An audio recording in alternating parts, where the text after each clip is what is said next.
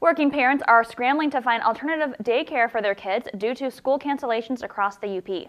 The YMCA has instituted a snow day program.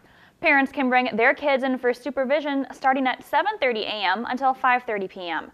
Employees say although it's a bit more work, it's also a bit more entertaining.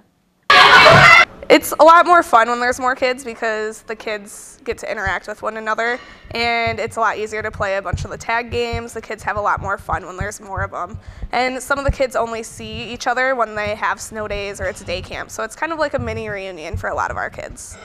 We have a bunch of different crafts, games for them, them to do. We have a bunch of camp games that they're allowed to run around, play tag in the gym.